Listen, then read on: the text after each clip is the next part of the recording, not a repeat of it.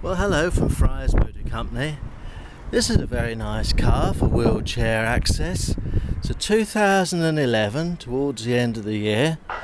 Fiat Doblo 1.4cc petrol engine.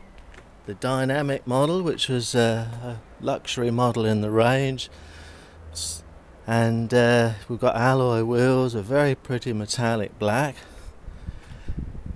Now, as you might have guessed, it's got wheelchair access by Gowrings, one of the oldest established uh, converters, and they've been doing it many years. In fact, I think they've even thought of the idea.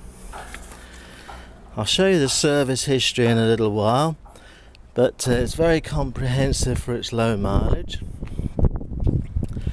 Now the ramp is down, the floor's lowered.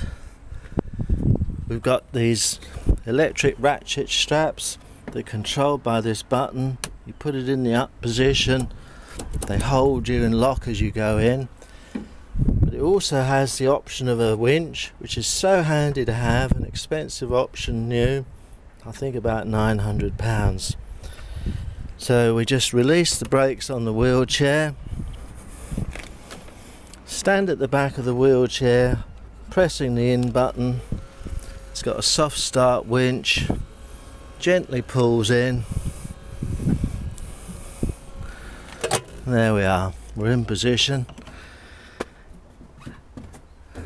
The front restraint straps are now holding. These go onto the floor. You press the red button, they clip round and lock. Same again that side. Then the seat belt comes around the wheelchair user and plugs in down there. So I used to reckon it's about a one and a half, two minute job to get yourself organised and be off. Now the ramp's a nice wide one. It's got some hydraulic assistance, so there's no particular weight to it.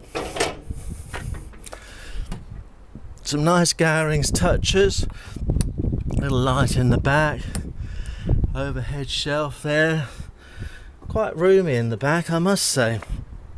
Sliding doors, we've got opening windows in the rear here, tilting type, sliding windows in the back doors so you can offer ventilation for the rear passenger.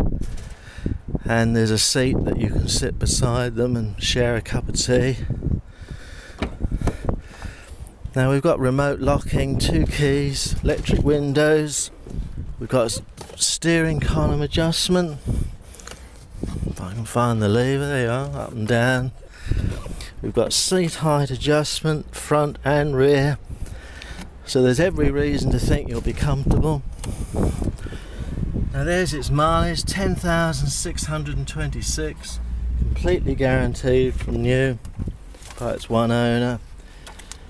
Now we see it's registered September 11 at 3,000 miles of main dealer main service, 5,000 miles of main dealer service, at 8,000 miles of main dealer service. Then we're just talking about MOTs. At 8,900 miles of main dealer service, at 9,700 miles of main dealer service and then a winch repair at 10,100 a seat belt replaced.